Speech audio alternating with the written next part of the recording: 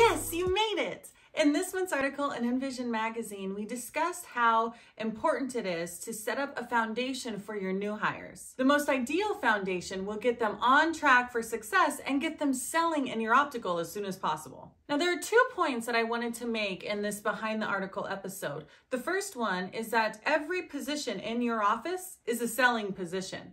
And the second is how we kind of get stuck in this sink or swim situation. The first one, the discussion of how every position in the optical sells.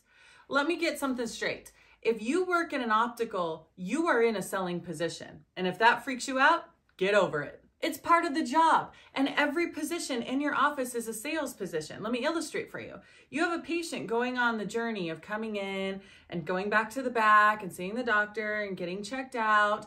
All of these positions are an opportunity to either make or break a patient sale. And like we discussed before, your patient's amazing prescription that you found is only as good as getting glasses to wear the prescription with. If the patient never buys glasses, from you or anybody else, they're never going to be able to experience that really amazing prescription.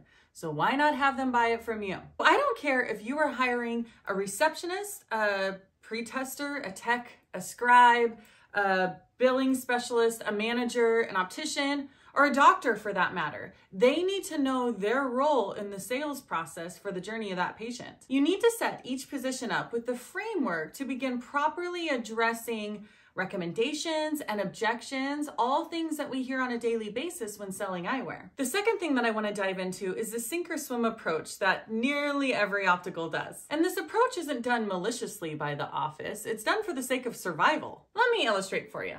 Let's say that you've got five team members that you're supposed to have on staff in your office and you're looking to hire. So you've been without a team member. These guys have been running the office short staffed. So you finally get somebody in there. Yay, you have a new hire. But this new hire can't be out on the sales floor. So what do you need to do? You need to train the new hire. So you're going to take your best person off the sales floor to train the new hire. So now not only are you short staffed, but you're putting all this extra load on these people in the office. Now what ends up happening? Honestly, eventually something's got to give because you're still seeing your full amount of patients and you're still having people come in and out of the office. And these three people are trying to manage things that should be a five person job. So what ends up happening is usually one of two things. Number one, these people are going to get super stressed out, start freaking out, and you're going to start having cracks in your foundation of your team. Or number two, this person, the best team member who's usually training people, is going to get called back to help every single patient that comes in, every question that pops up.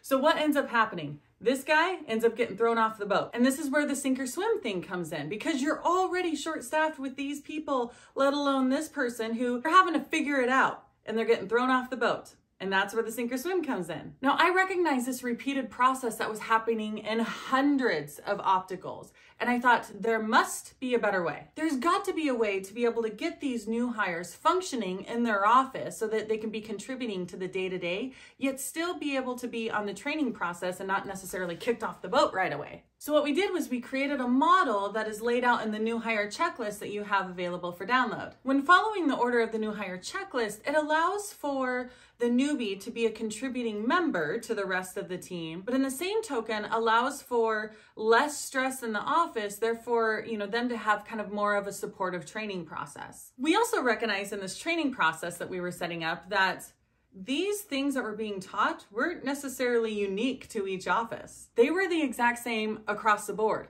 for every optical. So what if we created a resource that offices could use to get the newbie the foundational knowledge necessary without having to deal in and use up so much of the already short staffed staff time. So we created this new hire training structure in an online resource so the team could access it whenever they needed it. Now I get there is a lot in our field that has to be learned in hands-on training and it's something that an online course just simply can't replace. But if you have the framework to get this newbie functioning and selling in your office as soon as possible, to become a contributing member of your understaffed team, it sure can alleviate a lot of the stress in the onboarding process process and keep the rest of your team from burning out on you.